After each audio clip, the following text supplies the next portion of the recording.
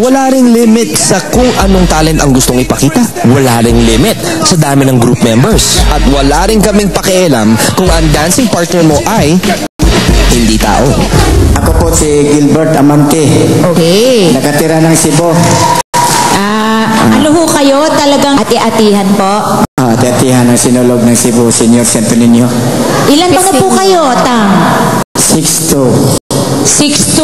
Nyo ba yun, Tang? De, 62. Ah, 62. Anong talent natin? Sasayaw lang po. Here's the catch. A big catch.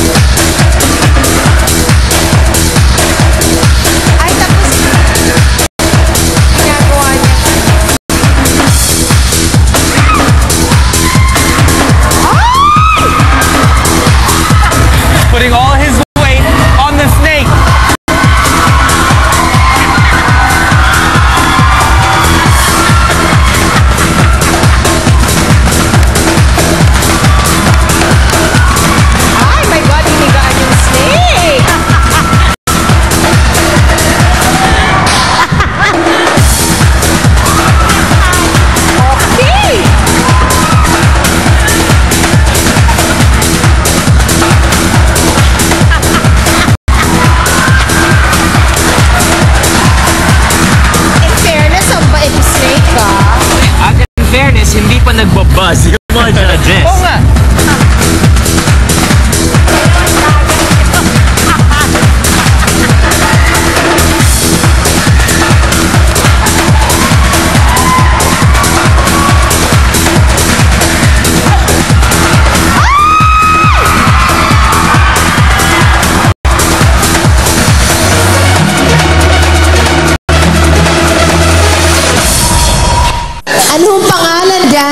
Partner ninyo? Austin. You give inspiration sa ating mga senior citizens to be very physically active. Well, it's really unique, no? Kaya lang, kung papasama ka dito, kailangan hindi pare-pareho ang ipapakita mo sa amin. Marami ka pa bang pwedeng ipakita sa amin? Meron. Marami pa. Okay. Ngayon lang ako nakakita na ginagawa mong dagat ang ahas. Thank you. Doon pa lang, Tang. Yes. Yes po ako. Ikaw po.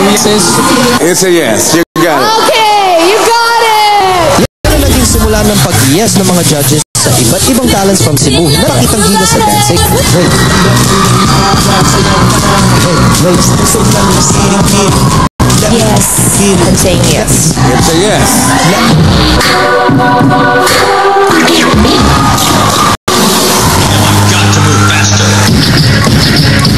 You get a yes? Yes. It's a yes. For this pair from Pardo Cebu, yes din ang pinapangarap nilang makuha from the judges. Five years na kami, partner. minamanage talaga namin at yung time namin sa isa't isa and discipline, napapractice, practice talaga. I'm Hansel. Hello, my name is May. Have you entered to an international competition? Yes, recently in Los Angeles, California. Ay, ang bongga. Okay, tingnan natin. Go.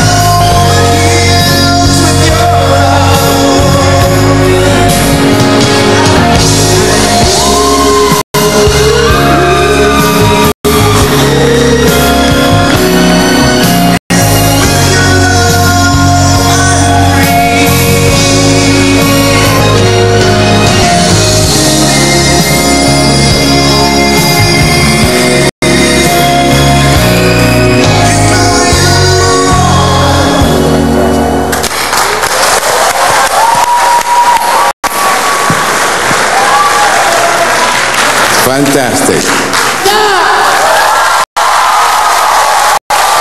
The movement is so precise, no? And you could feel the dance, really. really great. Thank you po. Isa lang iniisip ko, kailan ko kaya magagawa yan?